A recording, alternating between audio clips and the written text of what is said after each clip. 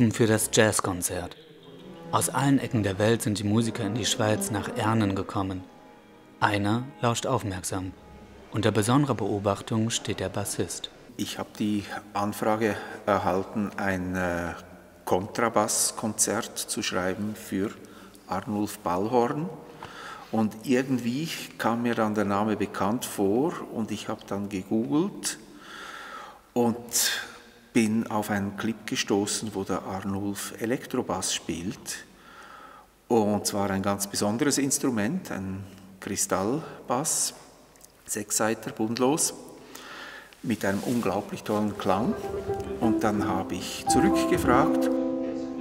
Vor Jahren hatte Alfred Zimmerlin bereits Kammermusik für das Festival komponiert. Nun hat er eine ungewöhnliche Idee. Wie wäre es das, äh, wenn ich das für E-Bass mache? Und da habe ich gesagt, ja super. Und so ist dann äh, das Ganze entstanden.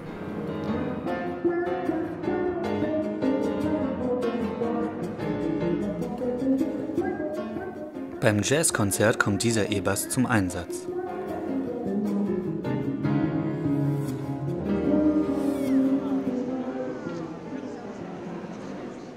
wir sind kein Festival sehen und gesehen werden. Das Publikum kommt wirklich wegen der Musik, weil hier etwas ganz Spezielles geboten wird, wirklich Musik auf einem sehr hohen Niveau.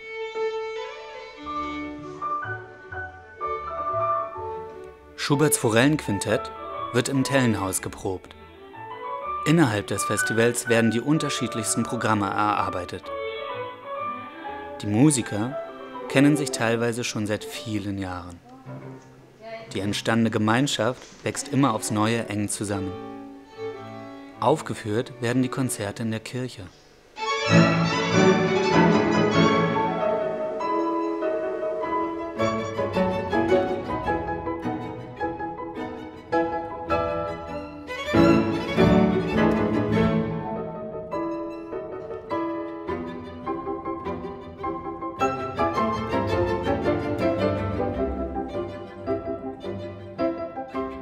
Was sicher besonders ist der Ort selber Ernen. Der Ort ist wirklich magisch.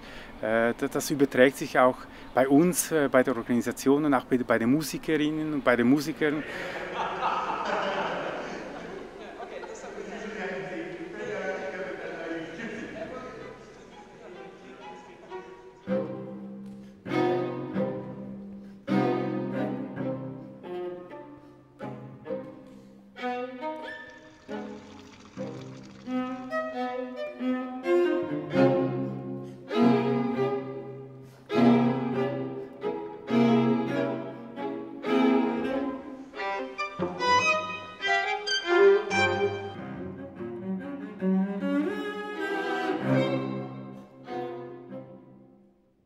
Wir verbinden uns mit den Komponisten in einen sehr speziellen, also spezielle Art. Und man hat das Gefühl, wenn man spielt, wenn man so in richtig das irgendwie verstanden hat, man versteht den Prozess von Komponieren auch.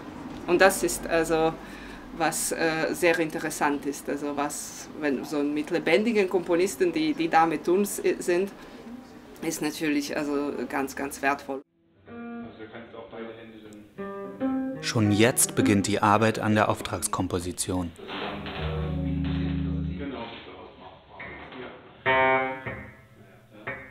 Spieltechniken und Klangmöglichkeiten werden gemeinsam erforscht.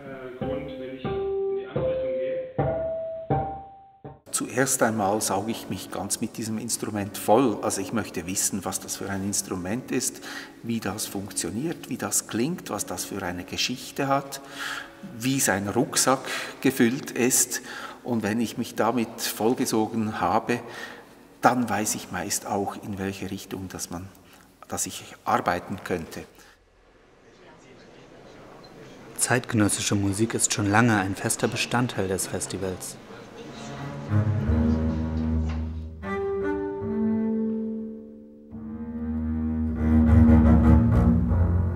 Der Schweizer Komponist und der Bassist aus Berlin sind sofort auf einer Wellenlänge.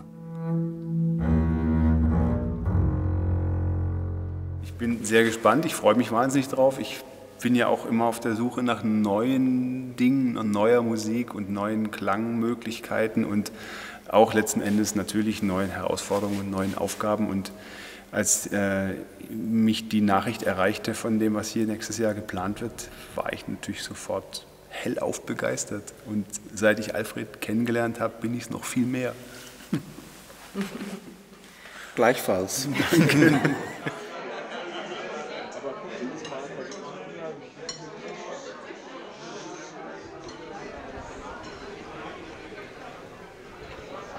Das Tellenhaus ist nicht nur ein Ort zum Proben.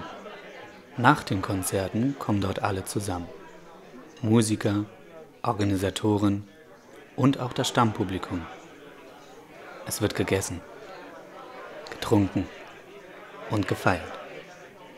Ein kleines Ritual seit mehr als 40 Jahren.